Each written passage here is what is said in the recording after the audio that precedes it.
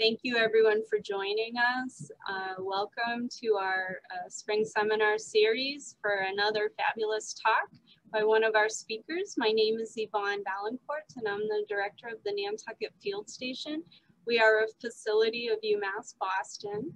We're managed by the School for the Environment and we sit on over 100 acres of conservation land uh, open space that is owned by the Nantucket Conservation Foundation.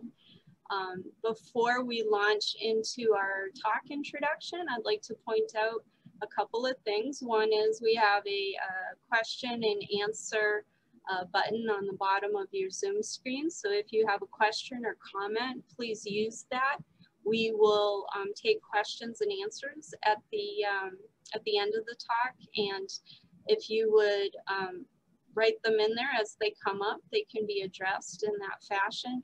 Um, you can also use the hand wave function if you'd like to uh, directly ask or comment um, as we tend to have some discussion get sparked at the end. Uh, that will be facilitated by um, a third party, Leo uh, Stella, who will be, um, well, you'll, you'll see at that point. Um, and as I was saying, uh, the other thing I'd like to point out is um, our speaker tonight uh, was is Greg Whitmore, and we're thrilled that he's here with us. Um, I'd like to say something about uh, his funding source, which is a group that we are a, a, proud member of. The Nantucket Biodiversity Initiative is the organization that funded Greg's work. And I would just like to uh, share my screen for a second and show you our website.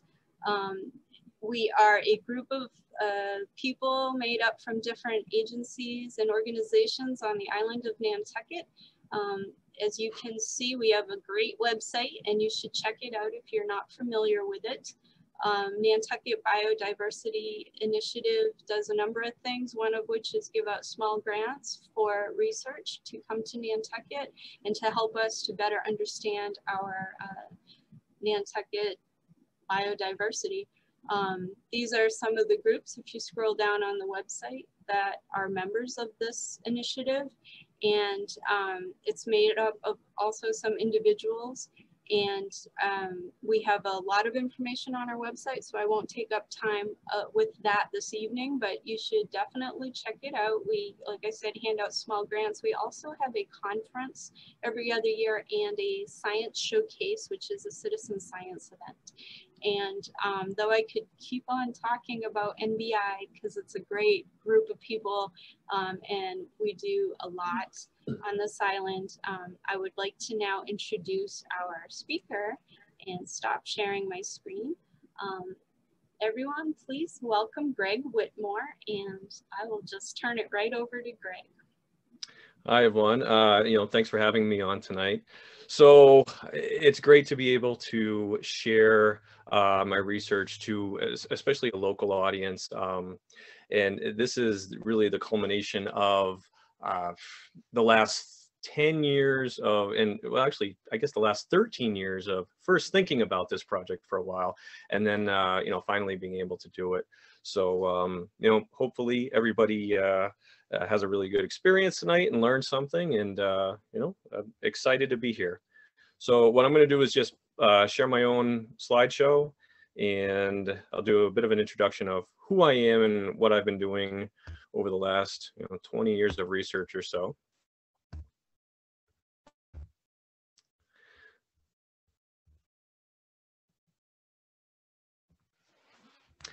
All right, so the project is entitled The Macroinvertebrate Fauna of Nantucket's Perennial and Ephemeral Streams. And before you get started, wait a minute, Nantucket has streams? It absolutely does, I promise. There are some out there. I wasn't sure myself for a while, but uh, sure enough, they're there. So who am I? Um, so I am a teacher. I live up in Deerfield, New Hampshire. Uh, I am currently employed at a high school called Pembroke Academy where I teach upper level sciences. Uh, and I'm almost also an adjunct professor at Southern New Hampshire University. So I got a bachelor's in biology from Franklin Pierce. Back then it was Franklin Pierce College. Now it's Franklin Pierce University in 2000. And then I went to UNH for my graduate degree in zoology um, in 2004. So my research focus since then uh, has been largely aquatic biomonitoring, and I'll get into what that entails as we go through the presentation. Um, I do most of my research is done in also in macroinvertebrate taxonomy. Uh, I'm actually an Ephemeroptera specialist, and Ephem Ephemeroptera are mayflies. Um, but I've been since getting into all of the other groups, uh, as you'll see. As far as my study areas, uh, I started out doing work in New Hampshire, and that's how I uh, started working with the mayflies. So I did, for example, the mayfly fauna of New Hampshire, which was largely unknown. Uh, I moved down to Martha's Vineyard in 2006 and lived down there for a few years. And while I lived there, I worked for the trustees of reservations as the Southeastern Regional Ecologist. And this is what allowed me to get my foot into uh, conducting research down on the vineyard and Cape Cod. Uh, so I did the uh, macroinvertebrate fauna of Martha's Vineyard, um, as well as some Cape Cod sites. And interestingly enough, that's what led me to this project on Nantucket. So I was introduced to Nantucket in general uh, because the trustees had some properties out there. And most notably, I would head out to Great Point on occasion and uh, work with the seals and the birds.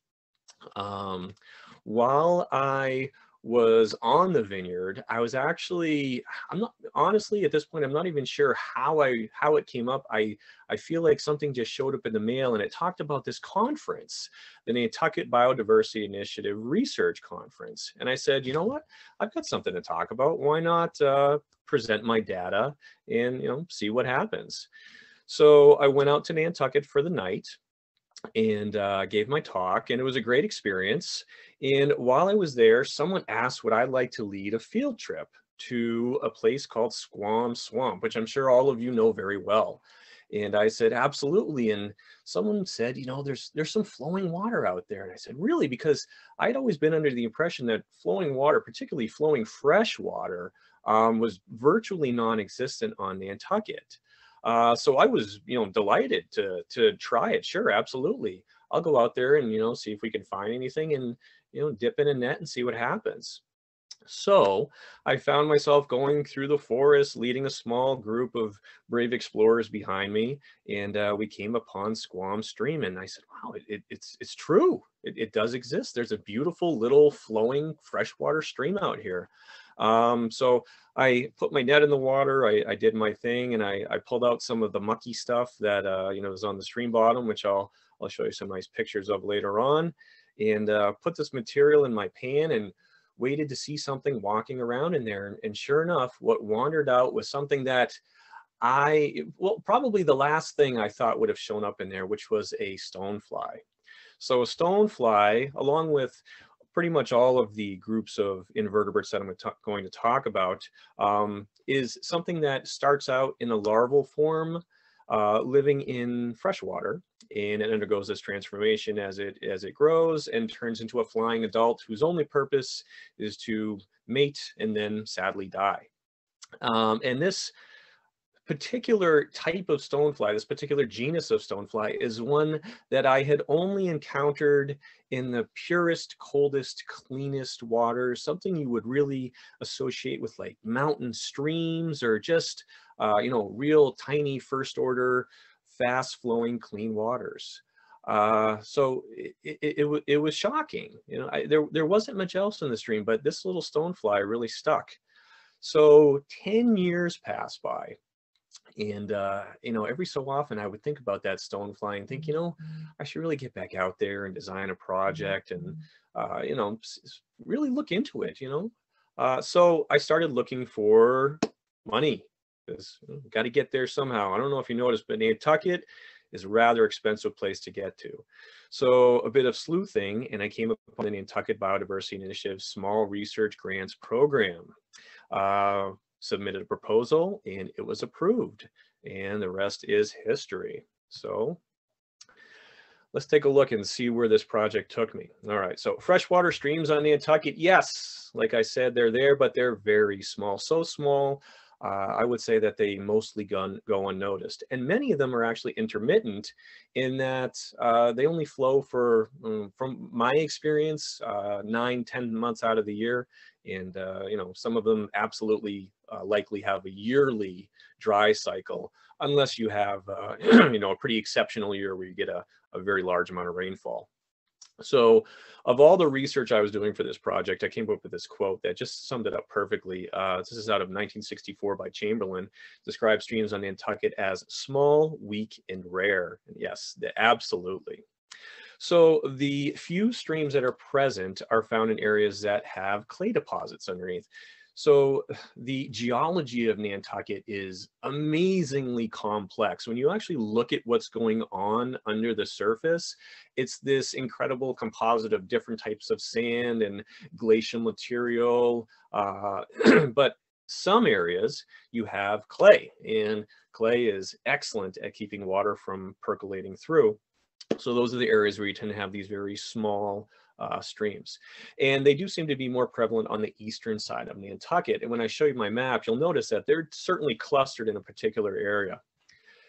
So is the project worth doing? You know, has anyone ever looked? Now, I'm very interested in islands. Islands are fascinating to me because islands represent isolation and isolation represents change. It represents species that are subjected to different conditions that organisms on the mainland are not. And because of that, we can get some completely unique ecosystems forming.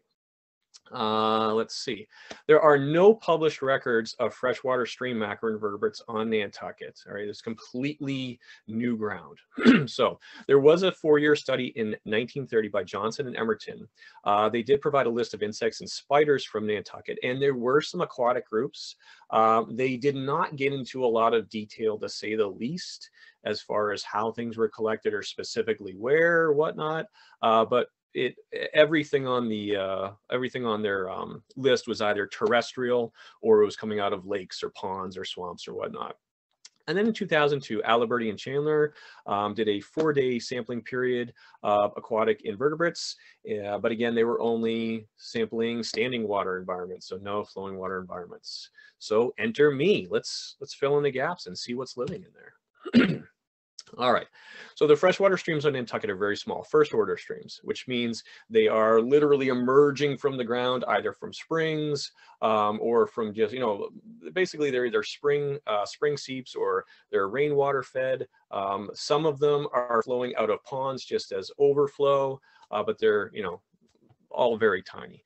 Because of their size, the habitat that they offer is going to be extremely limited. Uh, you know, the larger the habitat, the more opportunity there is for a variety of uh, different microhabitats to exist. But the smaller it is, I mean, you get what you get.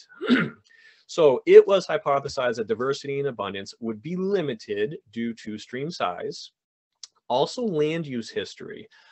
Now, the land use history of Nantucket is tough. So I cannot, uh, for the life of me, come up with a definite consensus as to how heavily Nantucket was forested in the past. So some people say, yes, you know, we have these historic tales of people showing up and the island was just covered with these massive oaks and hickories and whatnot. Um, and then other authors will say, no, that's absolutely not the case. Uh, you know, they couldn't possibly exist due to its location, due to the wind and whatnot. So it's tough to really come up with that history. Um, Nantucket itself, uh, you know, most of the population is clumped into kind of the center of the island. And as you move away, there's this incredible swaths of conservation land. But we certainly know that most of the island was utilized in the past for sheep. And sheep are very destructive to say the least. Uh, they, they, they do a lot of damage to the environment. Uh, so Nantucket has had a rather similar history to the rest of New England, where if there was forested, that forest was cut down. And what we have remaining on Nantucket are just vestiges of somewhat recent forest, you know, reforestation. Um, we had, you know, large amount of sheep present, just like the rest of New England. So, you know, uh, humans have had their impact to say the least. And of course, isolation from the mainland. So how did all these organisms get to Nantucket? Well, they were there prior to sea level rise. So at the end of the last glaciation, you could walk from you know, anywhere in New England straight to Nantucket. It was one you know, uh, continuous landmass. But as the glaciers melted and the ocean level filled in, uh, Nantucket became isolated. So, you know, six, 7,000 years ago, give or take, was probably the end point uh, for it being connected to the vineyard or to the Cape. Uh, so that is when the clock started ticking. Now, how can organisms get there today? Well, you got to think of the groups we're questioning. So, you know, if we're talking about large mammals or birds, you know, birds can fly back and forth. Um, some mammals can make their way across. It's it's possible. You know, it's not not not uh, likely, but possible. Um, insects, particularly a number of the ones I'm going to discuss, a dragonfly could fly from the Cape to Nantucket no problem. A beetle could do it, but something like a mayfly, a stonefly, a caddisfly, they would find that distance virtually impossible. Um, we could have storm assisted dispersal where, you know, good thunderstorm, something whips up and can just blow creatures from Cape Cod, uh, you know, through the, through the air over to Nantucket. Certainly a lot of insects could travel that way. Um, how about ferry boats, right? We have ferry boats going back and forth between Nantucket uh, and the mainland um, and big lights on them. We know big lights attract a lot of insects. So that's another way stuff could be transported across. Uh, but, you know, I was very anxious to see what I would find. My first trip to the island, the first sample was at the UMass Boston, uh, or at the uh, UMass field station site. And I'll tell you, I was thrilled to look into that pan and see something look it back at me. You know, it kind of confirmed those couple of years of planning. So the sites, let's see, stream sampling began in May of 2018 and concluded in April of 2019. So I like to do year-long studies uh, because it tells me when organisms are present. Um, a lot of these groups, you will only find the larvae in the water for short periods of time, sometimes just a few months. Um, they hatch from an egg, they grow up very quickly, they emerge, they turn into adults, they fly away. So you really need to be doing it um, monthly, you know, over the course of a year. So you get the full picture. Uh, I came up with six sites and the sites were all chosen based on a couple reasons. Number one, they needed to be accessible to me. So anything on private property was, I ruled that out very quickly because it just seems to be uh, very difficult uh, to track down a lot of owners of property or get permissions or whatnot. So everything I had chose was actually on conservation land, which made it a lot easier. Uh, I also wanted to make sure that I was dealing with fresh water because there is a saltwater fauna or a brackish water fauna, and that is not my area of expertise whatsoever. I'm a freshwater guy, so I had to make sure that the salinity levels were correct. Um, the sites were typically clustered in the northeast. There was a southeastern site in a single northwestern site, and here they are. So we can see in the top right corner, we have Squam Brook, we have Medouie Creek, we have the Polpis Road site, the UMass Field Station site, Phillips Run, and then over on the western side of the island, we have Millbrook Road. So there are large portions of the island that are not represented, but there's a reason for that, and that there either just were not suitable sites, uh, meaning that there just weren't really freshwater streams there. Um, if there were, you know, any flowing water, it had a higher salinity or whatnot. Um, there were a couple instances, sites where I might have liked to have gotten into, but, um, you know, just accessibility would have been uh, too difficult to do. Uh, but this is a good representation of the island uh, and Nantucket's not very big. Uh, so in reality, any organism that's in any of these streams uh, could essentially, you know, fly to another site if it felt the need. Um, that usually isn't the case. Macroinvertebrates like to grow up in a particular body of water. They emerge from that body of water, they mate, and they tend to lay their eggs in the same body of water. Yes, they certainly can disperse sometimes, um, but what I've noticed is that even very closely, um, you know, closely situated sites can have a very different fauna. All right, so let's just take a look at the sites individually. And I'm sure if you're from the island, you will recognize uh, quite a few of these. So here we have Squam Brook, the site that started it all, the very site actually, this, is this exact location. So we're located in Squam Swamp. Um, now, I have certainly uh, made note of the perennial sites versus the ephemeral sites. So the perennial sites are those sites in which the water is flowing year round um, and it provides stability uh, for the fauna. So basically the organisms that are found in a perennial site are ones that likely, you know, not always, but many of them could not exist in an ephemeral site, one that will dry up. And on the flip side, there are a number of organisms um, that are found in the ephemeral sites of, of, Nantucket that only exist in those sites. You will not find them in these year-round bodies of water, which is very interesting. Um, but they're just different life strategies and they have their pros and cons. Discharge in any of these sites is I mean, these are absolutely tiny, tiny bodies of water. So looking at Squam Brook right now, it looks like a decent sized stream, but the reason it has such a small discharge is because the water is just absolutely barely moving. There's always the slightest amount of flow traveling through Squam Swamp. Now, uh, I always go through and take a look at the stream bottom composition. Uh, it is something very important because the bottom composition uh, tells me what sort of habitat that I have. So on Nantucket, we have mucky bottom, quite a bit of mucky bottom, which is just uh, dissolved organic matter of various types. We have sandy bottoms. There's very, very little cobble and rock, almost none. Um, and there's a decent amount of uh, you know, sticks and leaves and whatnot. Some aquatic emergent plants will occur at some of the sites, but mostly what I see is mucky bottom. Uh, canopy cover is another important thing to note at all of these sites. In this case, there's about 90% canopy cover, which means if you were to look up, um, and you, you do this when the, everything is leafed out, uh, how much of the sky can you see? If you take a little window above your head, and in this case, about 90% of the sky is blocked by canopy. So this lends to how much shade are you actually getting on these streams, which will tell you how much sunlight is penetrating for primary production, or you might consider how much is that sunlight able to heat up the stream during the summer. All right. What I love about Squam Brook is there's little to no human alteration of this site whatsoever. You walk around and you just feel like you're in the wilderness. It's a beautiful, you know, nice quiet spot in Nantucket and uh, it's just a healthy ecosystem.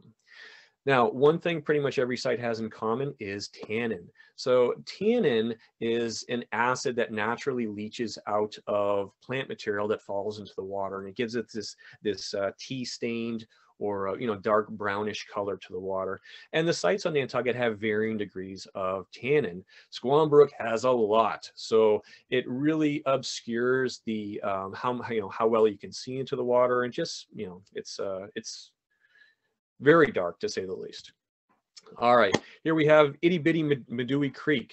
So it's located along Medouie Creek Road. This particular site abuts the trustees of reservations uh, uh, field house. So it is an ephemeral site, which meant it went dry for about three months. Uh, very tiny discharge, 100% mucky stream bottom, and very much you know uh, covered, 90% canopy cover.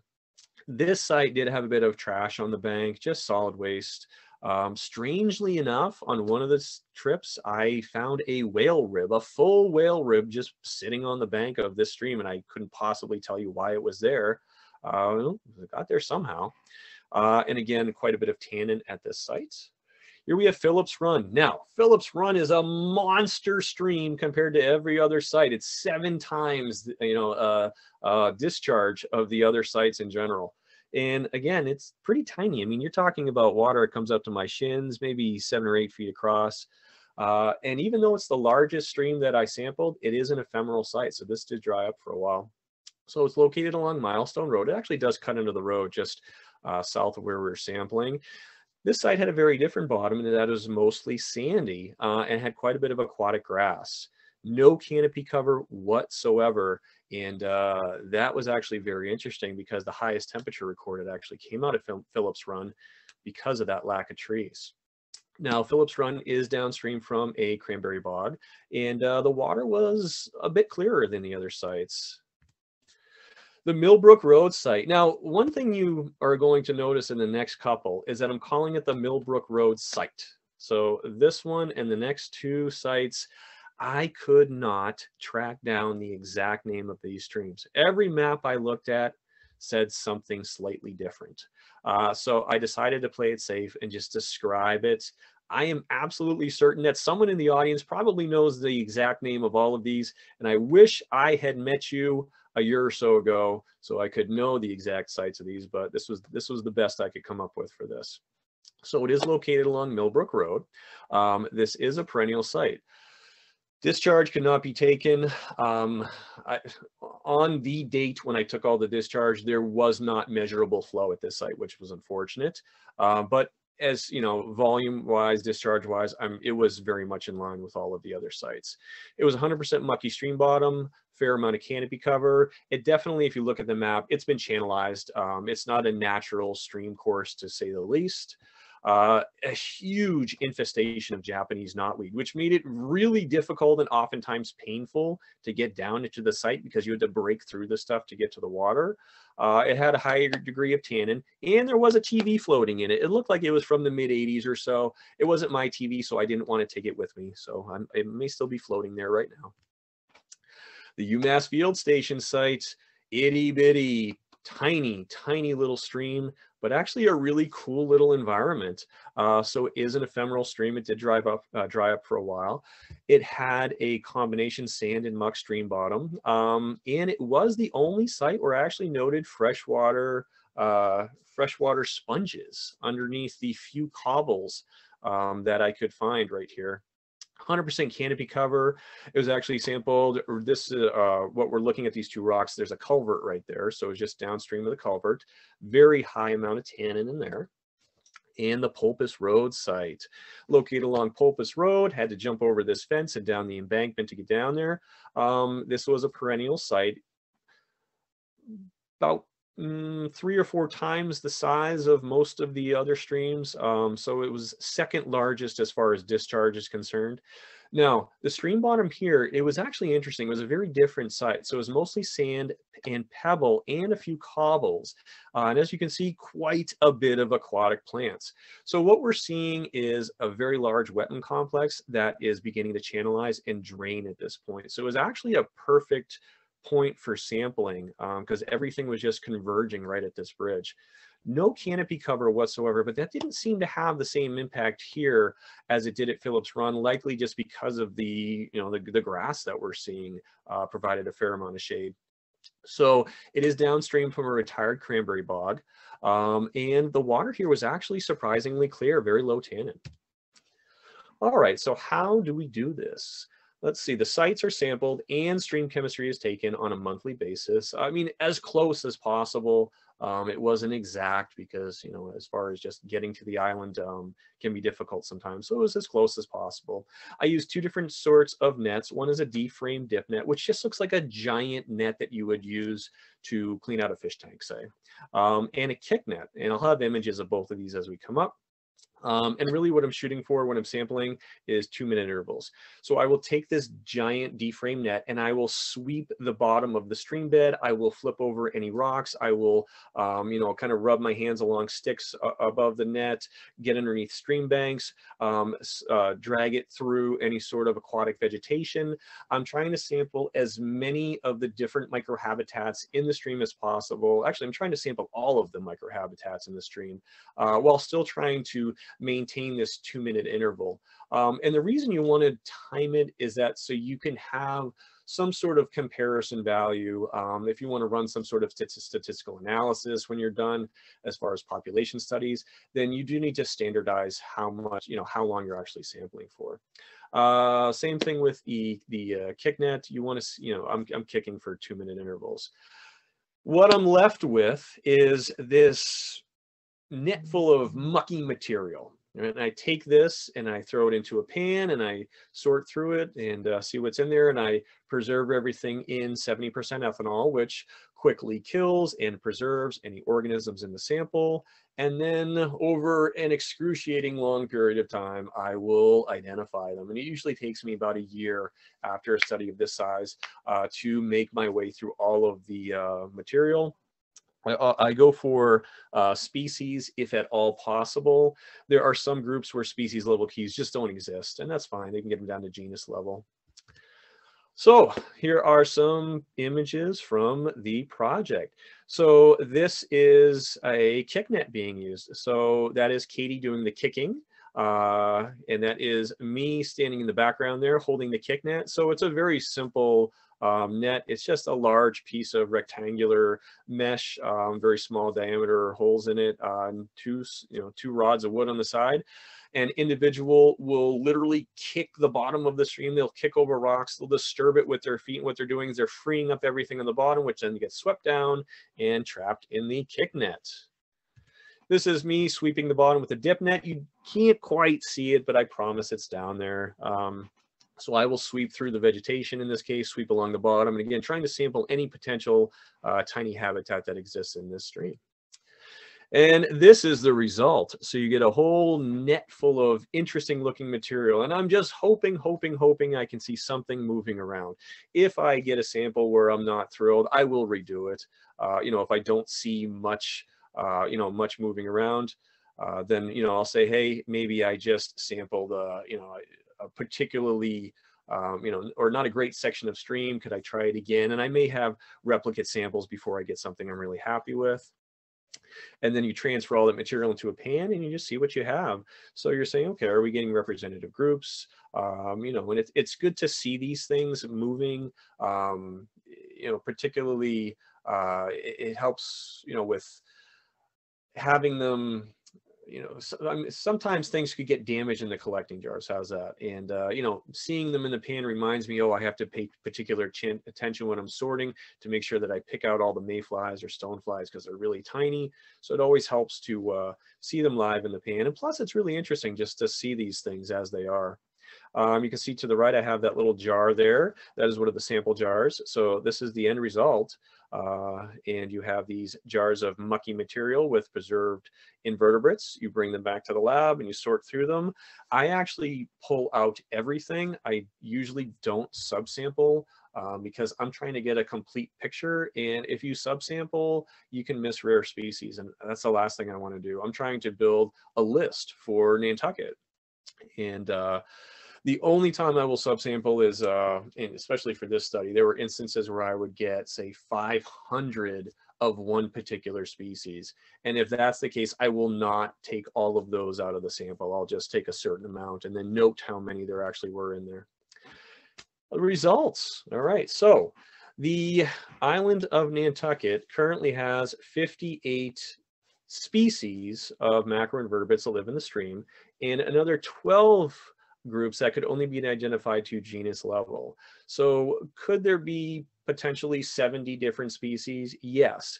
The issue with that is that of these 12, several of them are beetle larvae that can only be identified to the genus level because keys to the species level don't exist. Now, I have adults in the same genus, sometimes from the same sites. So they're likely just the larvae associated with those adults. But can I conclusively say that? No, because I just can't identify them to that level. So I'm just erring on the side of safety and just putting them at genus level and saying, you know, uh, we just have these 58 species and 12 genus level identifications. Uh, it's not a complete look. Uh, I specialize in certain groups and there are other groups that I just uh, don't work with at this point. So for example, midges, which are chironomids, um, midges are their own study in themselves. So I have not tackled the midges. I did collect midges, but they were not included in this study. Also leeches and snails and aquatic worms oftentimes these groups have to be worked with live in order to identify them and just logistics i that's not something i could do. I could not transport live specimens of these in any ways and you know be able to work with them. So i'm looking mostly at insects and a few species of crustaceans.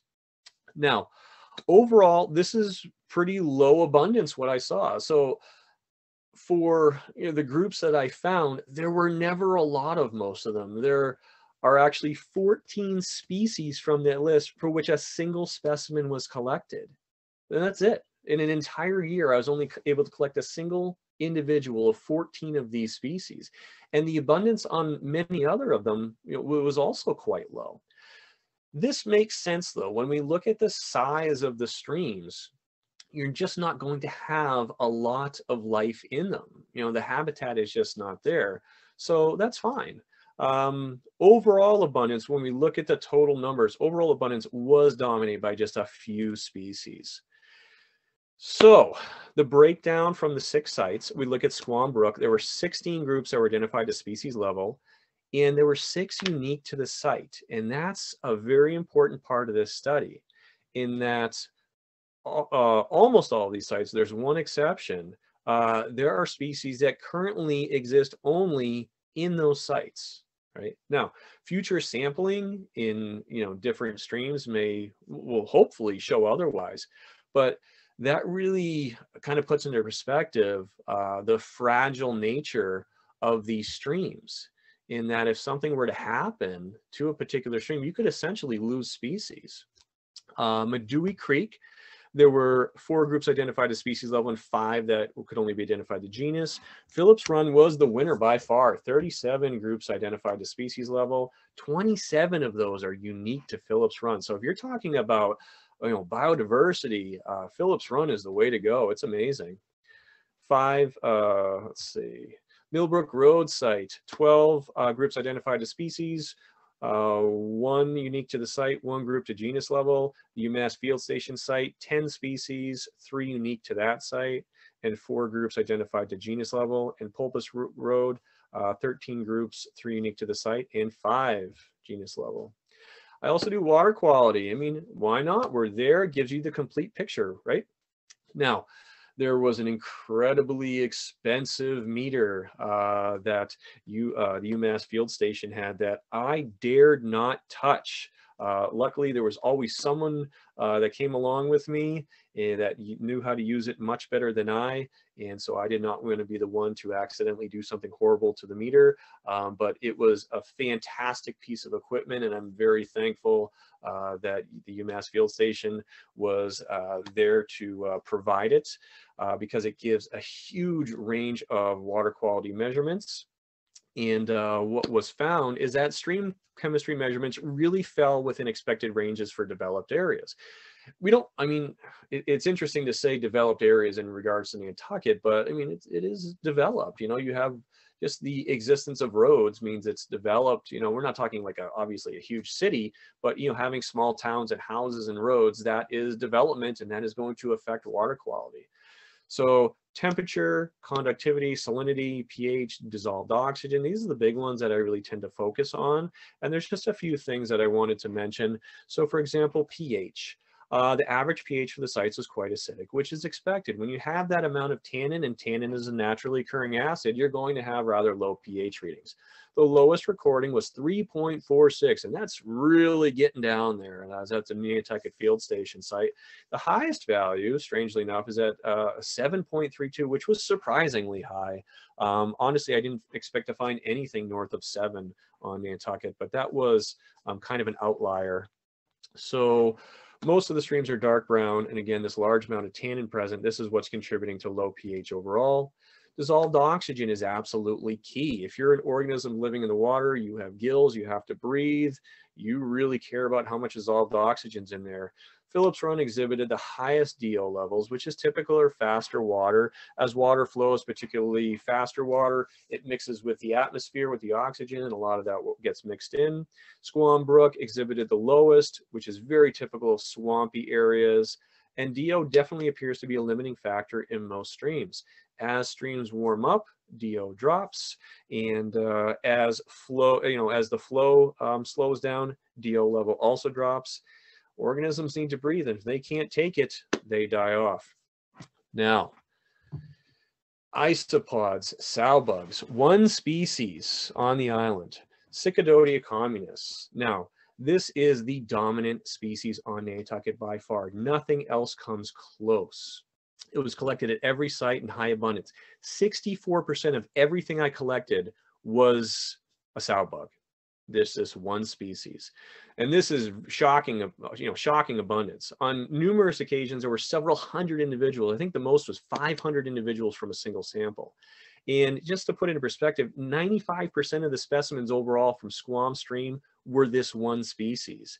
So uh, it was amazing how common it was. And the question is why i have not seen anything like this anywhere throughout my study sites so for example, on Martha's Vineyard, I did a study on, you know, the vineyard in Cape Cod, um, very much lower abundance. The highest amount collected on Nantucket was 518, but from the vineyard, 19, and from Cape Cod, 10. Those are the most I ever got from a single sample. So what it comes down to after a lot of thought is that the dominance of this species is likely due to a lack of competition resulting from limited diversity. The stonefly that started it all. One species of stonefly was collected. Leuctra tenuis, collected in just one site, Squam Brook. It usually occurs in perennial and intermittent, intermittent streams. Uh, this genus of stonefly is particularly intolerant to organic pollution. It can't tolerate any sort of pollution whatsoever. If it's present, it just dies off. So it's considered an indicator species, an indicator of nice, clean, cool water. So its presence at Squam Brook shows that the brook has persisted in a natural state that is conducive to the continued existence of this pollution intolerant stonefly.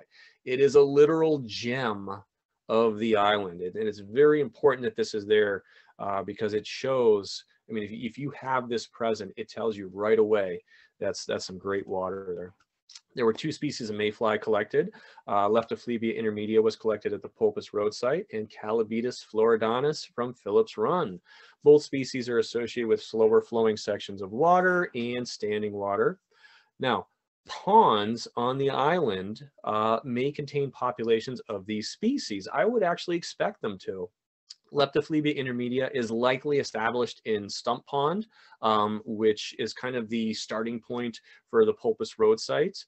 Uh, and it can make its way through these intermittent and perennial flows and end up at my sampling location. Now, Callibaetis floridanus is very special.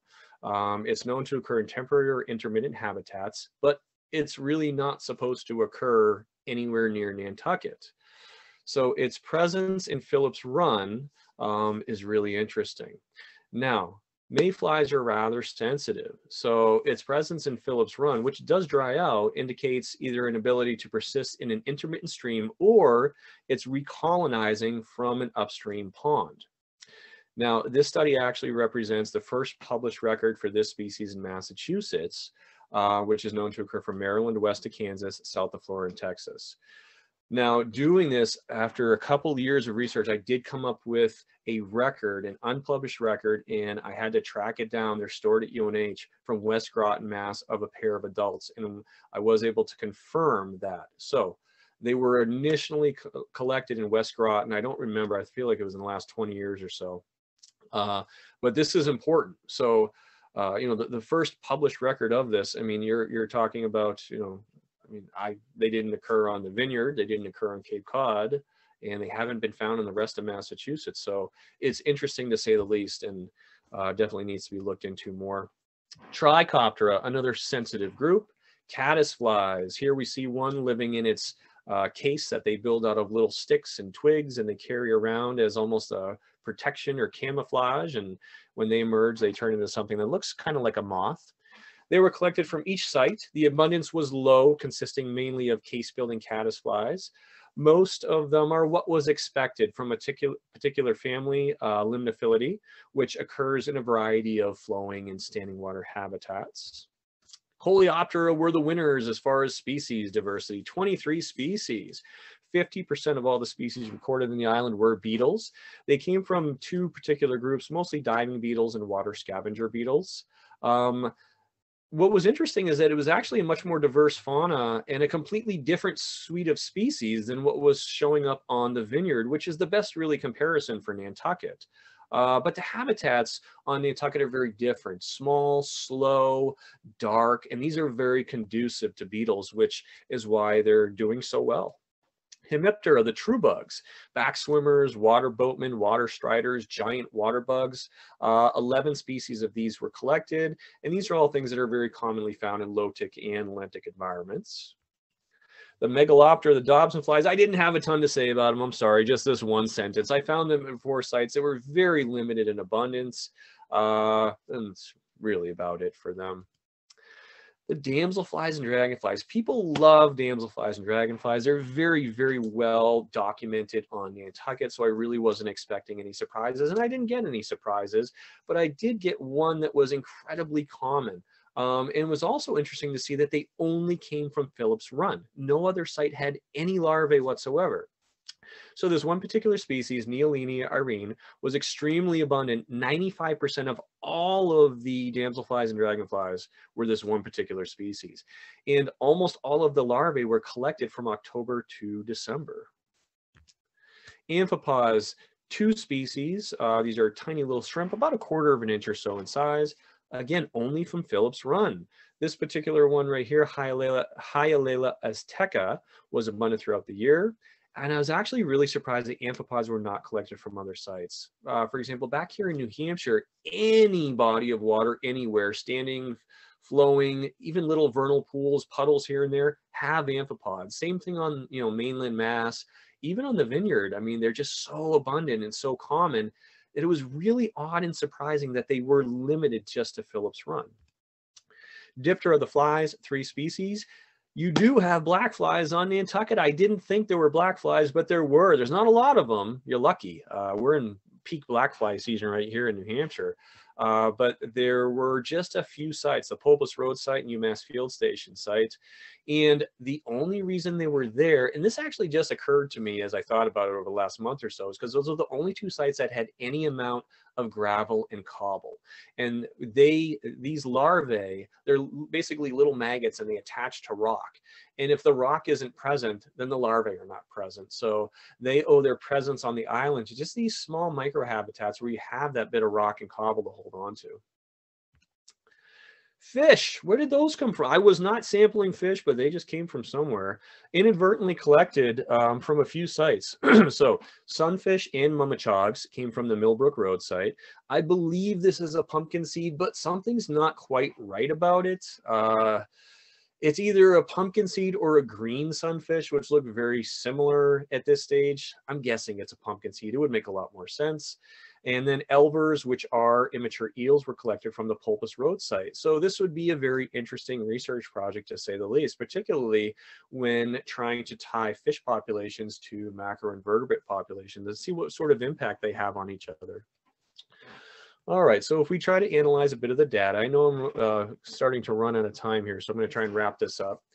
So as far as limiting factors, what's determining where organisms can live? Discharge is key. So ephemeral streams were dry during August and September. Dissolved oxygen levels slowly drop as the year progresses uh, and as temperature increases and discharge drops. And flow regimes. Some species cannot survive in ephemeral streams while others were only found in those sites. Now, I did run a Hilsenhoff biotic index, which is a way of looking at a body of water and what lives in there and making some statements about water quality. So what you do is you evaluate the amount of organic pollution in the stream by comparing species richness and abundance to existing data or similar sites. Species are assigned a tolerance value to each species, uh, which is the point at which a species is no longer able to survive due to increasing pollution. And these values range from zero to 10. So for example, low values would be species that are only found in the cleanest water. Mid value, moderate levels of pollution, and high values. Species, I mean, these are species that could live in raw sewage and would be happy doing so. So I hope this text isn't too small. Um, Hilsenhoff Biotic Index is generated for each site. Now, the results were odd. Um, and the results were odd because of this one species, uh, Caecidotea communis, the isopod. There were so many of them that the results were very much skewed. Now, C. communis can tolerate a lot of pollution. It has a very high tolerance value. And when you run the numbers through these formulas, it gives you this initial indication that the streams uh, may have rather poor water quality. And we can see down here, um, we have a first value with C communis and the second without. So we look at Squam Stream. With C communis, we have a value of 7.78 and without 3.67. We look to the right at the chart and this is where we find out what those values mean. So value 7.78 would be very poor water quality. But if we take this one species which dominates the fauna out of the equation, we have a value of 3.67, which is actually excellent water quality. Now, is it fair to take that species out? Well, we have to consider what else lives in the stream. This is the site that has a particular stonefly, that yes, that very pollution intolerant stonefly. So if it was indeed a polluted site, the stonefly could not exist, right? The only site on this list that I would be concerned about is Phillips Run because with C communis and without, it still has a relatively high value. The other ones all fall within excellent to very good levels of water quality. Um, yeah, I just mentioned a few of these things. If we just skip down to the middle of this, Phillips Run um, in particular had three species which dominated its fauna. Um, so it had the isopod, it had an amphipod, and it also had a damselfly, all of which had very high numbers of individuals. Uh, and these species all have high tolerance values. So those definitely could have skewed those numbers, but you know, I guess it's to be determined in the future. All right, on the flip side of this, however, there is a species of blackfly, uh, which has a tolerance value of two and was collected in high abundance at the Polpis Road site and the field station site. So the low tolerance value of this species could have skewed the data in the opposite way in that it's giving oddly low values. So really, when we look at this Hilsenhoff Biotic Index, um, it's useful for Nantucket to run this, this sort of calculation, but you really have to consider the species that you're working with. Um, it's, it's a unique situation to say the least. I have not had these sort of uh, values in other areas that I've worked in.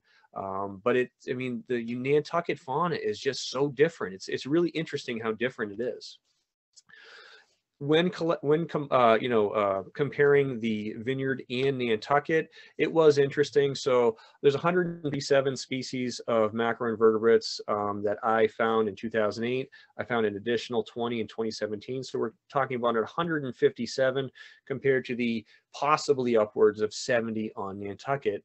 It makes sense that Nantucket would have a much smaller fauna. It's more isolated. There's far fewer streams and the streams are much smaller. There are, however, 26 species that are found on both islands. So all orders from the Martha's Vineyard fauna are represented on Nantucket by at least one species.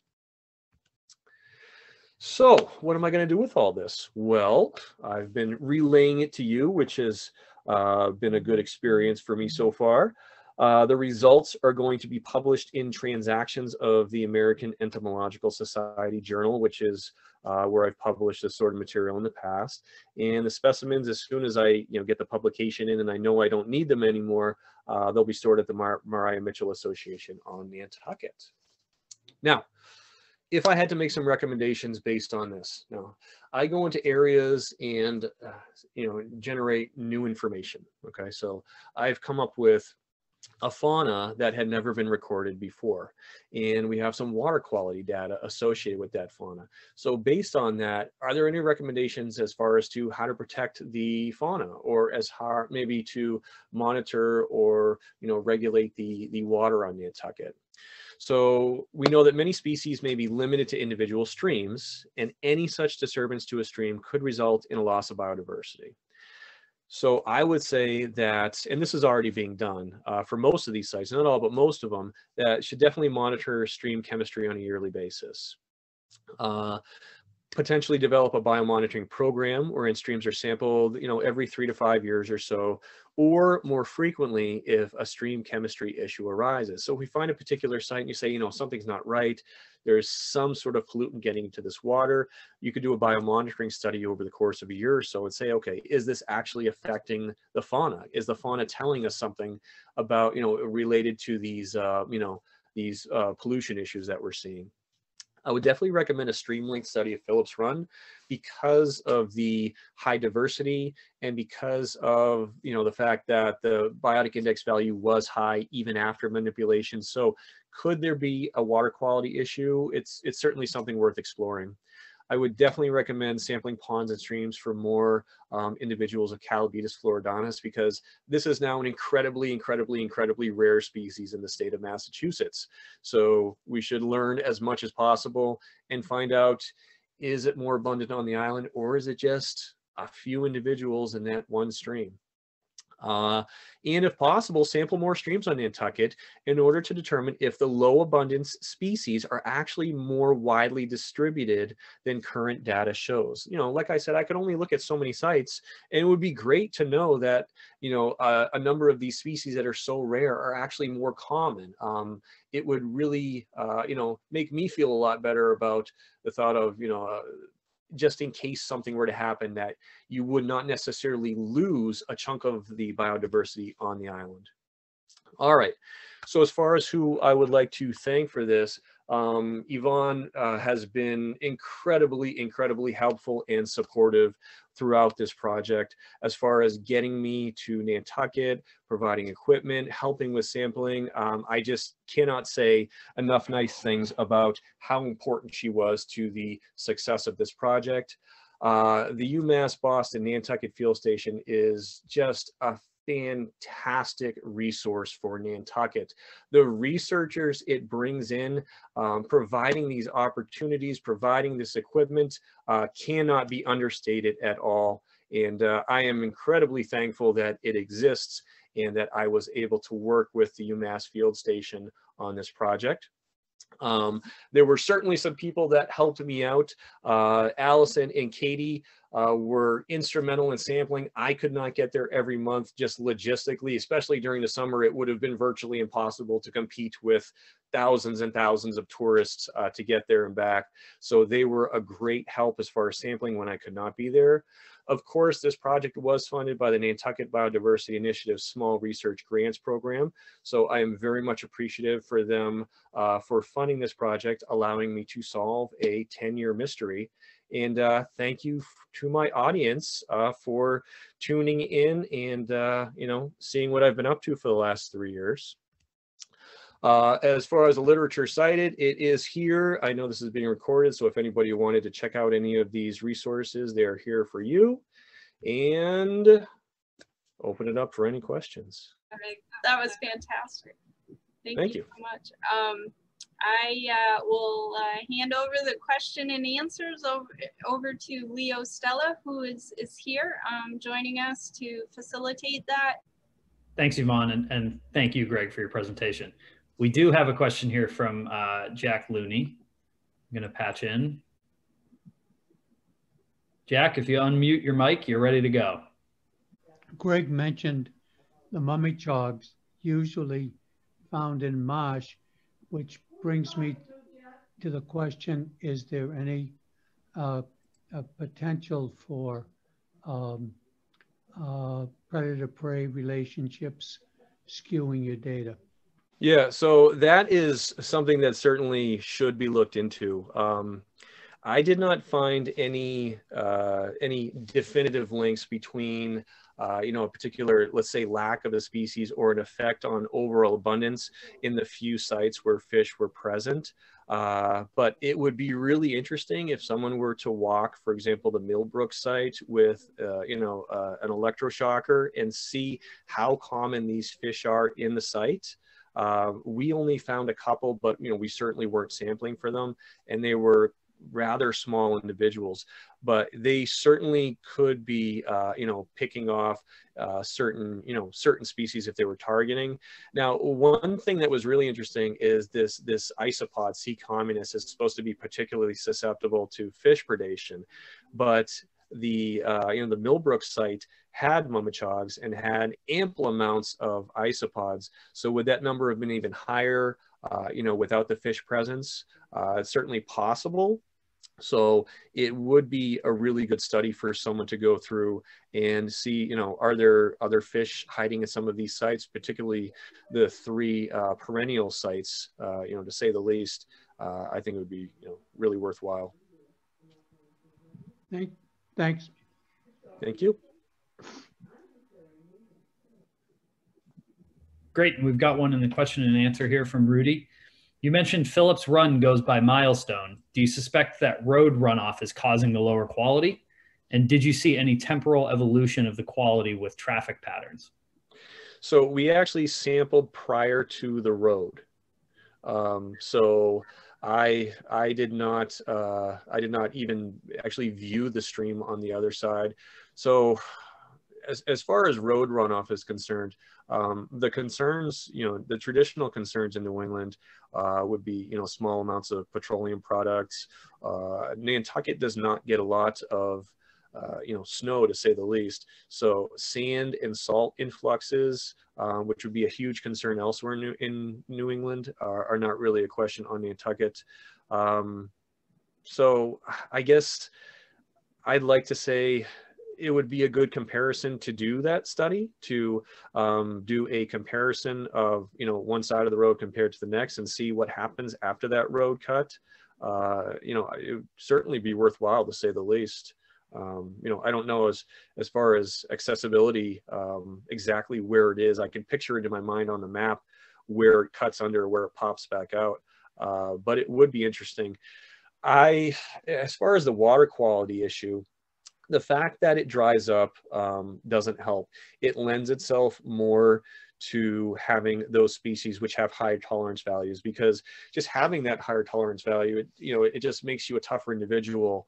Um, so those tend to have, you know, higher values because they're in a temporary environment.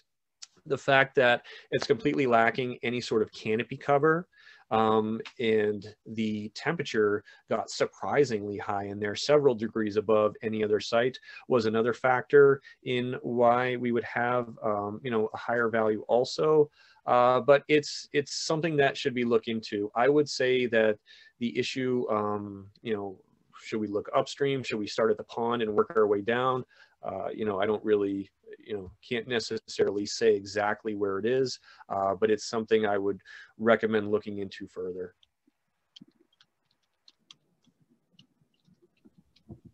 Great, thanks, Greg. Anyone else um, in our uh, attendee section have questions?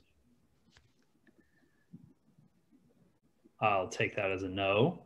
Yvonne, do you have questions you'd like to pose? I do. Um, I always have a couple. Um, it, so seasonal trends. Did you notice? And, so I, I'll step back a moment.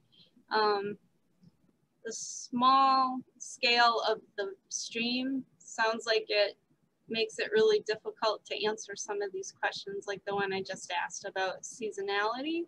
Um, so could you talk about that a little bit and also um, do you think this uh, occurrence of something that you normally see much further south, if, if you were to start seeing it a lot, do you think that is probable because of rising temperatures? So is that a climate change range thing or is it, I mean, uh, yeah, so I'll, I'll ask one question at a time.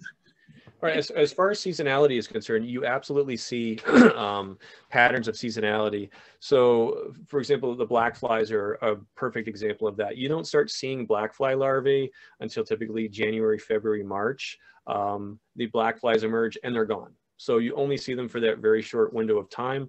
Uh, some of the groups like, uh, you know, damselflies, they'll take many, many months. So I'll start seeing uh, damselfly larvae showing up in October for an emergence the next, you know, May, June. So uh, there's definitely, uh, you know, every group has its its time to shine in the streams. Some of them are winter groups and uh, some of them are spring groups.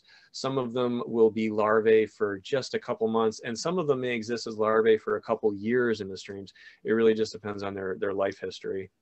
Um, but again, because, you know, the, the, like you said, the fauna is so, so limited uh, that and and Nantucket is so mild um, compared to where I typically see these groups that the larval presence does tend to be extended on Nantucket when you compare it to mainland populations of the same species in that, uh, you know, these, these rather moderate temperatures and mild winters, um, it's not as rushed. They don't have those very quick temperature fluctuations uh, that we see, uh, you know, elsewhere in New England. So, uh, you know, they can just kind of take their time, I guess, overall. Uh, so you know, it, yeah, and it's that's really the same trend that I saw on the vineyard too, where I, I called it, uh, you know, extended seasonal larval presence, where they just seem to be present in the streams much longer than I would expect in other areas because they have that that opportunity. You know, their environment does not change that quickly around them. Um, as far as the, uh, you know, as, as far as the, the mayfly, now, this is something that is, be it's becoming more common to see Southern groups um, in Northern states. And there's a couple schools of thought, um, one of which is that um, researchers are just getting better at identifying and they're actually starting to consider and more look for these more southerly species in northern states and they're kind of extending these ranges a bit more northward but that does not really go for the islands because it goes back to this uh, you know higher temperature uh, that we have in these very mild winters. So these are species where they're in a habitat and their winters are very similar to what they're seeing a couple hundred miles south. And they just kind of happen to have made their way up the coast at some point in the past and they exist in these very small fragile communities. Um, there was a dragonfly on the vineyard uh, that I found, which it was the exact same story. Uh, the genus changed. It was it was Tetragoneuria spinosa. I, I, think it changed to Epitheca spinosa. I'd have to check. Uh, but it wasn't supposed to occur north of New Jersey, but it occurs in Millbrook on the vineyard. And again, it's there because just of you know the mild winters. Um, but there's another way to think of it. Are we going to see these trends? And yes, we have seen a bit of this northward, uh, northward progression of some of these groups that can exist uh, you know, and th these would be like extreme northern ranges when we look at something like Nantucket, the Cape, and the Vineyard. Um, and, you know, long-term trend, next 10, 20, 30, 40 years, will we see an increase? Uh, you know, that would be an interesting study to say the least. And this is the sort of project that's important for those sort of studies because now you have the, the, the baseline documentation. So now you have a starting point. Thanks, Greg. We do have another question from our audience from Mark Palmer. The question is, did you have any comments on water quality in, uh, forgive me, Madaket, specifically the ditch, and signs of any outflows from the landfill? Uh, no, I I didn't see any obvious water quality issues. So things that I would be looking for, uh, number one is algae blooms. And I didn't see that anywhere, um, which was which was a great sign. So if I were to see that, I'd immediately okay, let's check our nitrogen and phosphorus levels. Um, let's check our pH levels. And it's not something um, that was noted. I didn't see anything, you know, out of spec in you know in like I said, a developed area um, you know, either visually, um, there were no odors I would associate, there was no scum on top of the water. Um, there were sensitive species, at least a few at every site um, that would not have been present if there was, you know, outflow from any sort of landfill. Um, but if that is, you know, if there is a, a question, you know, and these are the, the sort of things that, uh, you know, make for great future studies. Um, you know, if there is a particular section of flowing water that borders an area where you're there is a concern about outflow, that's a great, you know, great area to set up a, a small study and sample it, uh, you know, for two, three months and see, you know, is there a, uh, a, a difference in the fauna between, for example, my site, or you know, one of my sites versus this site, or are we only seeing uh, species with extraordinary high tolerance values and no sensitive species whatsoever? So um, that certainly is a future consideration if there are pinpoint sites that uh, people have concerns about. Great. Um, well, we've got time for one more question if um, someone from the audience wants to take it or if Yvonne has another one or a closing comment, Greg. Any, any last chance for questions? I can always come up with a couple more questions. Um, but what I think I would ask is, uh, as Leo did, uh, what would you do next uh, um, if you were coming back down here? Would you search for more streams or would you focus on, would you repeat using the same streams or would you focus on a couple and more extensively sample the length of them? I know you spoke about that a little bit, but yep. um, did you have other other closing comments? So I, I think uh, a biomonitoring program would be great. They're they're easy to set up. Um, it doesn't have to be. I mean, you could you could you could run, uh, run a program where you sample streams every five years, give or take. Um, it's not a huge cost involved. It's it's easy field work to say the least. Um, the processing of the samples takes a long time to you know, and you need a, a special someone like me who just has endless piles of keys and textbooks and you know keeps up with the current taxonomy to identify. But the, the programs themselves are easy um, they're very beneficial and allows you to look for long-term trends. So i definitely think that um, you know that would be a great thing. But if i were to come back to nantucket I would like to um, check out some more sites um, because I'm seeing this just rarity of so many of these species. Now, they're not rare overall you know if we look at their their range throughout you know throughout uh, northeastern north america they're not rare individuals. They're just rare on nantucket. Um, so is that really the case? Or if we looked at more sites would we find that hey you know there's actually quite a bit in these sites that just were not accessible at that time? Um, so a few more sites would be great particularly if we could if there was anything worth checking out in like the um, the southwestern part of the island where there really was no representation of uh, of collection. And uh, I'd say a definite priority would be to definitely look for more of that particular mayfly and, uh, you know, just maybe a, a, a, stream long study just to see if it's more common. Um, is there a huge concentration in the, uh, you know, in the pond that is the source of Phillips Run? Uh, that would be really interesting to know because, I mean, you have to consider the implications of a species only existing in two towns in extremely small amounts. I mean, you could consider that to be an endangered species in the state of Massachusetts at this point.